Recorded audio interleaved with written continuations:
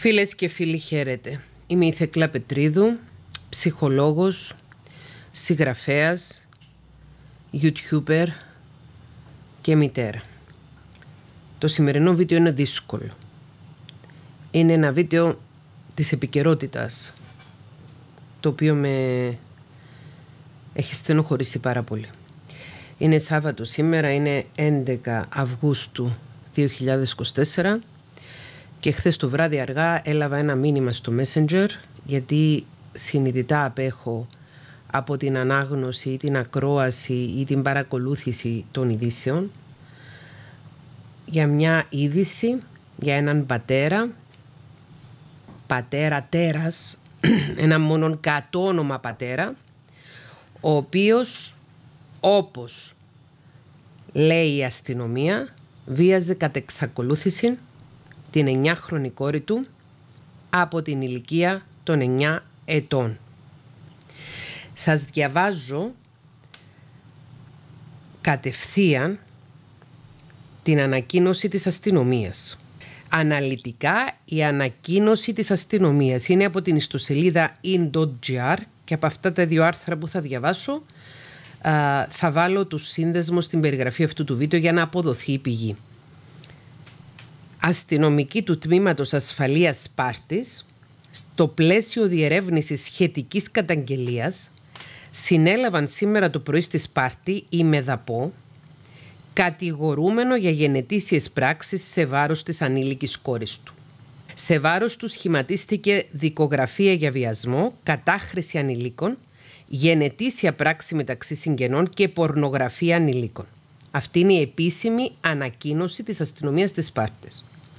Συγκεκριμένα, σύμφωνα με την καταγγελία, ο κατηγορούμενος τουλάχιστον τα τελευταία πέντε έτη ενήργησε γενετήσιες πράξεις σε βάρος της ανήλικης κόρης του. Τέλος, κατασχέθηκε κινητό τηλέφωνο με πλήθος φωτογραφιών με πορνογραφικό υλικό καθώς και δύο ηλεκτρονικές παιγνιδομηχανές. Τα κατασχεθέντα πιστήρια θα αποσταλούν στη Διεύθυνση Εγκληματολογικών Ερευνών για τη διενέργεια των απαραίτητων εργαστηριακών εξετάσεων, ο συλληφθής θα οδηγηθεί αρμοδίως. Παρακολούθησα την παρουσίαση της είδησης από διάφορες εκπομπές.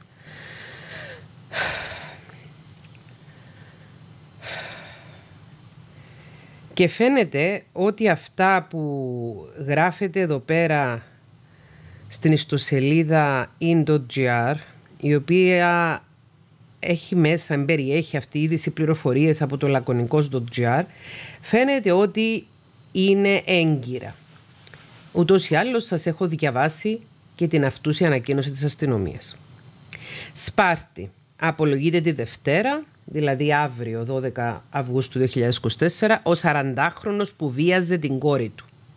Πώς αποκαλύφθηκε ο φιάλτης; Ο πατέρας που ζούσε σε χωριό στη Σπάρτη είχε κρυφό φάκελο στο κινητό με ντοκουμέντα από το βιασμό της 9χρονης κόρης του.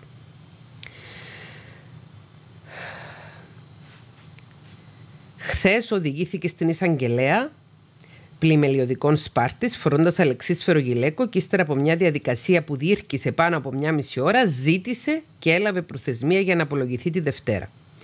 Σε βίντεο φαίνεται πως κατά την έξοδο του από το δικαστικό μέγαρος Σπάρτης συγκεντρωμένοι πολίτες τον περίμεναν για να το γιουχάρουν. Το παιδάκι ρε, σήκωσε το κεφάλι να σε δούμε, φώναζε ο κόσμος συνεχίζοντας τις αποδοκιμασίες με βαριές εκφράσεις.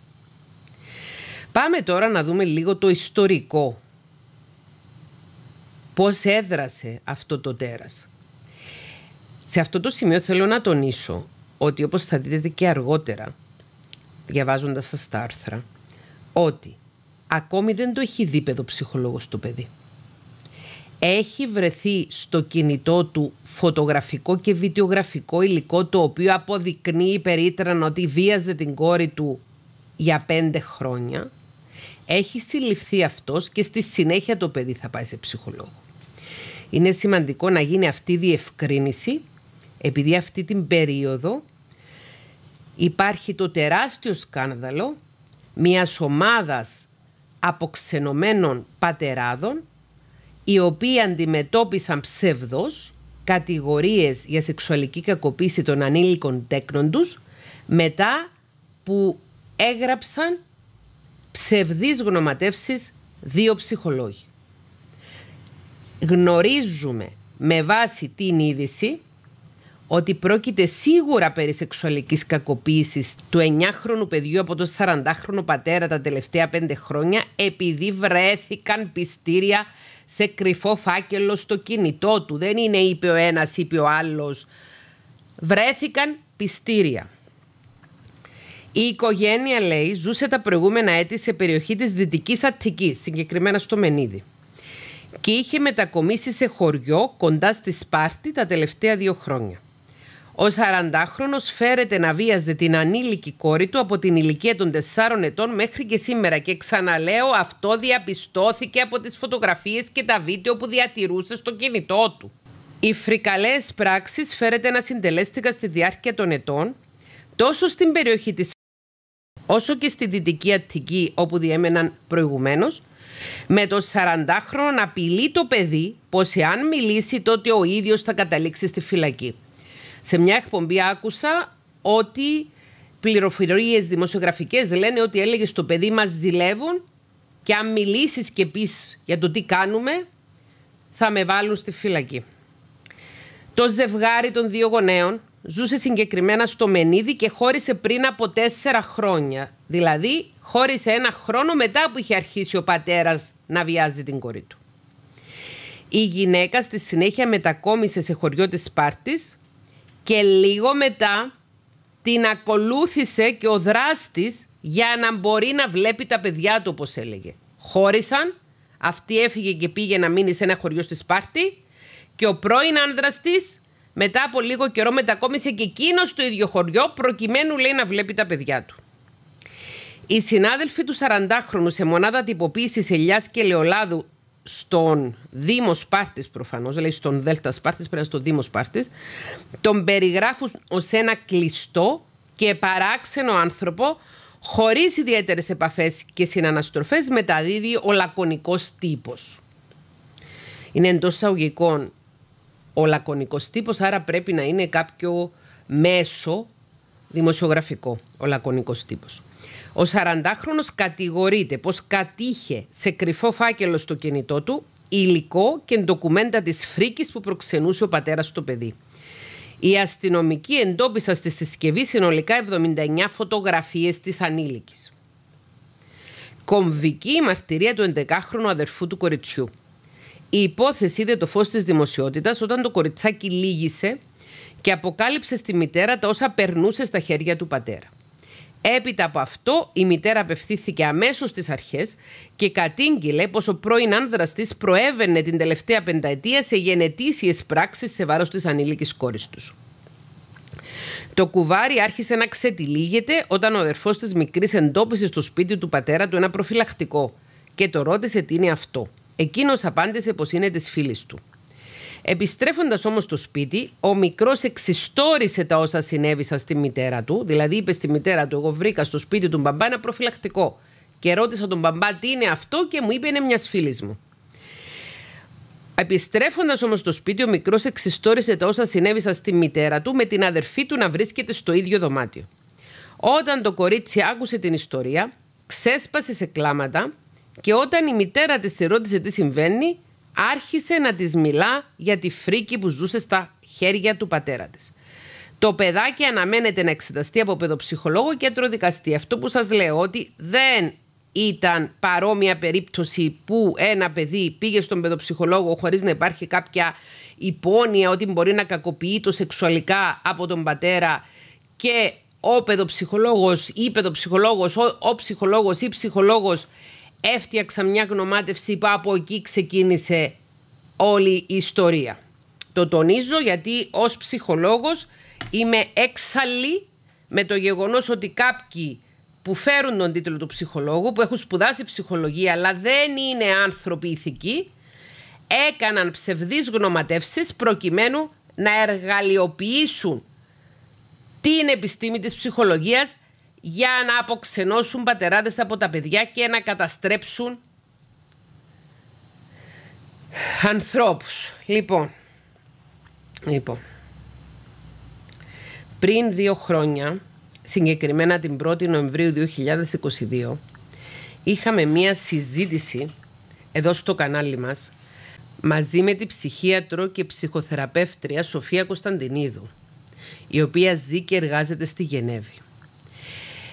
Σε αυτή τη συζήτηση η ψυχίατρος και ψυχοθεραπεύτρια Σοφία Κωνσταντινίδου η οποία έχει καταγωγή από τη Θεσσαλονίκη μας μιλά με εμπεριστατωμένο και συγκινητικό τρόπο για την παιδική σεξουαλική κακοποίηση. Διαβάζω από την περιγραφή του βίντεο όταν είχε πρωτοανέβει. Επειδή το βίντεο αυτό ανέβηκε με πολύ χάλια ήχο, το έχω κατεβάσει τώρα, έχω φτιάξει όσο γίνεται τον ήχο.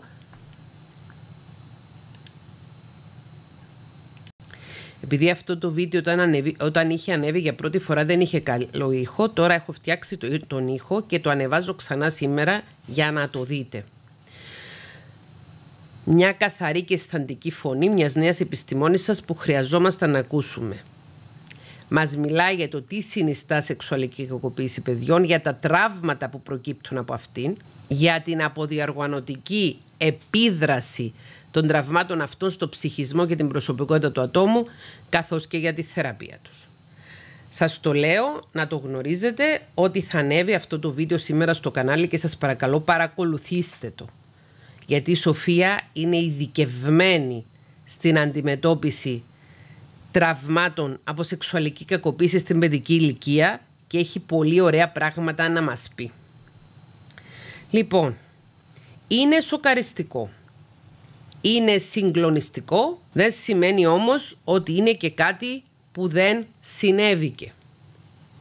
Αυτές τις μέρες που ανεβάσαμε αρκετά βίντεο στα οποία δίναμε χώρο για να ακουστούν, να διαβαστούν και να ακουστούν δικές σας μαρτυρίες από περιστατικά σωματικής κακοποίησης, ξυλοφορτώματος συγκεκριμένα στην παιδική ηλικία από γονείς και δασκάλους, δέχθηκα ένα-δυο ερωτήματα για το πρόβλημα της σεξουαλικής κακοποίησης στην παιδική ηλικία και ερωτήματα σε σχέση με το αν θα μπορούσαμε να κάνουμε ένα αντίστοιχο βίντεο στο οποίο να περιγράψετε όσοι δυστυχώς τα βιώσατε, τέτοια περιστατικά. Δεν είμαι σίγουρη αν είναι καλή ιδέα να ανοίξουμε έναν τέτοιο φάκελο με την έννοια του ότι αυτό που με προβληματίζει είναι για τα πρόσωπα τα οποία έχουν υποστεί σεξουαλική κακοποίηση στην παιδική τους ηλικία πώς θα νιώσουν αν ακούσουν τώρα ως ενήλικες αυτό που έχουν γράψει να διαβάζετε. Θέλω να στείλω ένα μήνυμα. Εάν μεγαλώνοντας έχεις υποστεί σεξουαλική παρενόχληση, σεξουαλική κακοποίηση και ακόμη δεν έχεις βρει το θάρρος να μιλήσεις, μίλησε.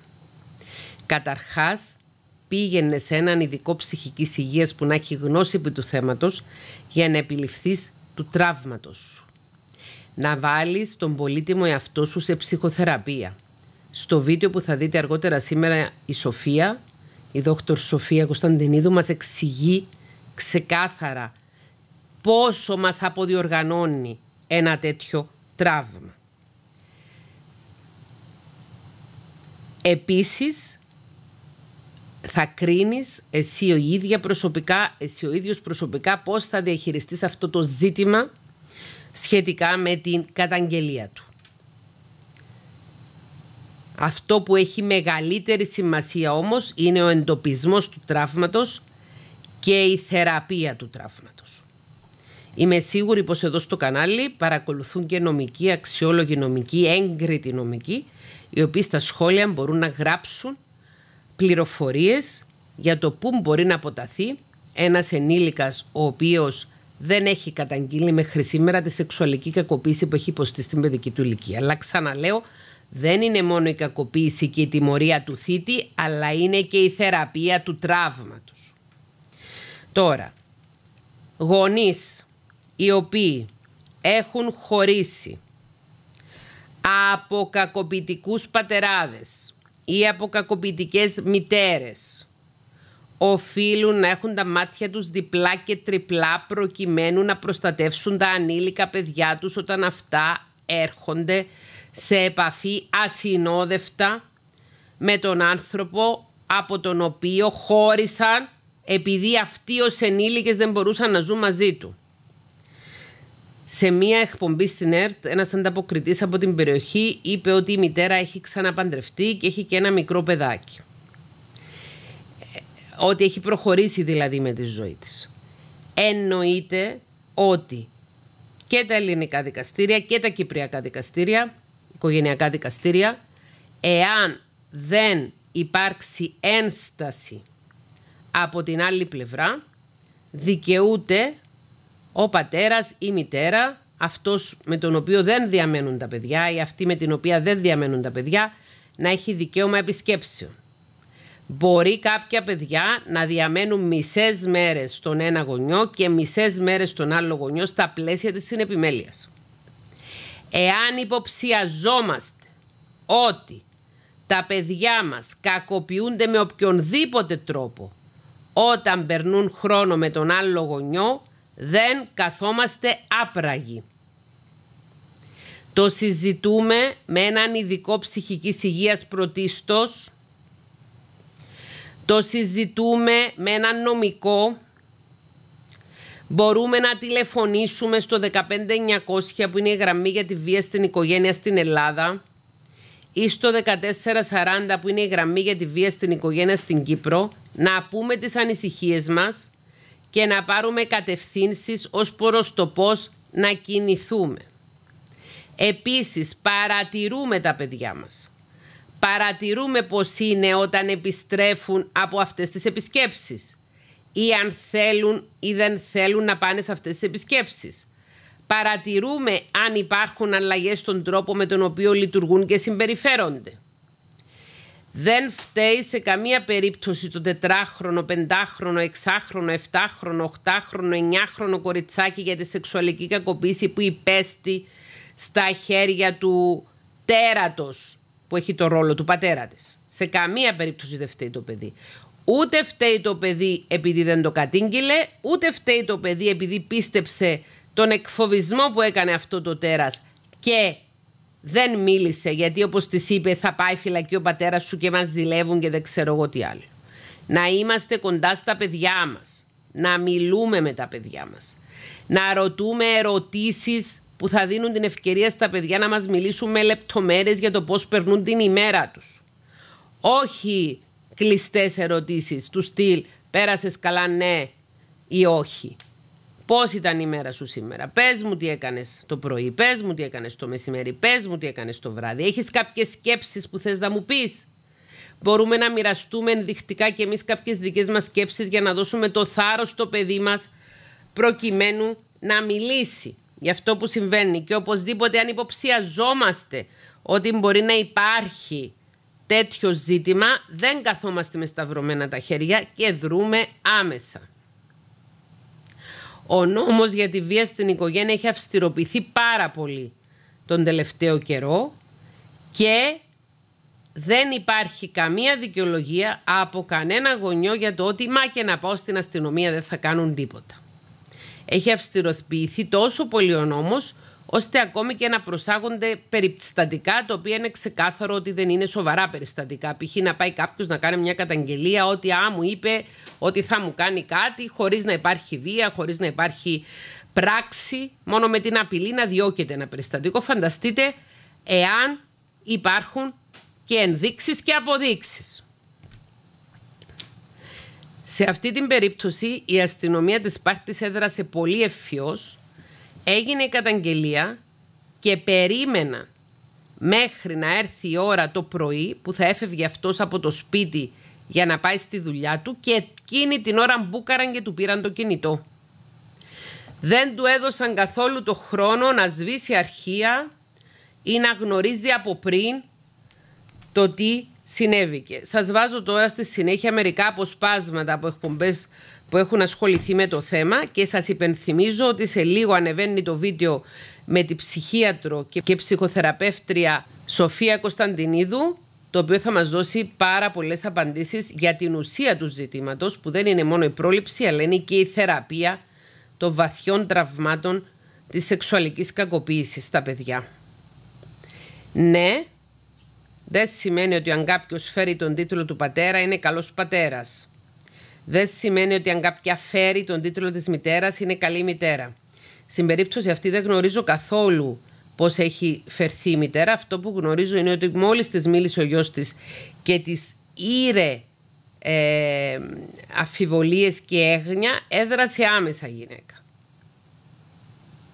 Δείτε το βίντεο με τη Σοφία που θα βγει σε λίγο για να δείτε σημάδια που μπορεί να μαρτυρούν κακοποίηση, τι είναι ακριβώς το τραύμα της σεξουαλικής κακοποίησης και τι συνέπειες μπορεί να έχει στη ζωή ενός ανθρώπου και πώς θεραπεύεται αυτό. Λυπάμαι που σας απασχολώ με ένα τόσο στενάχωρο ζήτημα, όμως χρειάζεται να ενημερωθούμε, να ανοίξουμε τα μάτια μας, να ευαισθητοποιηθούμε και να προστατεύουμε τα παιδιά μας όλοι και τα παιδιά τα ξένα.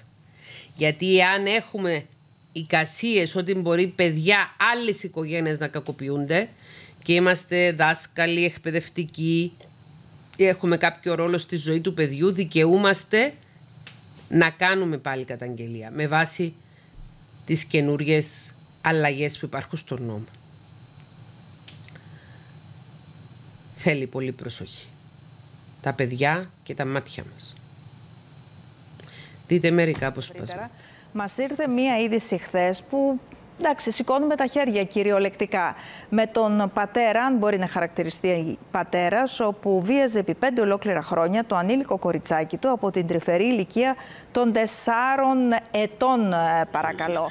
Ε, να σου πω ότι ο 40χρονος ε, συλληφθής ε, χθες ε, παρουσιάστηκε ενώπιον του εισαγγελέα στα δικαστήρια της Πάρτης λίγο μετά τις 7. Ο βάρη αυτής της φρικιαστικής ε, υπόθεσης άρχισε να ξετυλίγεται το βράδυ της Πέμπτης όταν ο 11χρονος αδερφός της 9χρονης αντιλήφθηκε μια περίεργη συμπεριφορά μεταξύ του πατέρα του και της 9χρονης αδερφούλας του Γύρισε στο σπίτι, άρχισε επίμονες ερωτήσεις προς τη μητέρα του. Κάποια στιγμή το κοριτσάκι το μικρό έβαλε τα κλάματα και εκεί εκμυστηρεύτηκε στη μητέρα του όλα αυτά που βίωνε.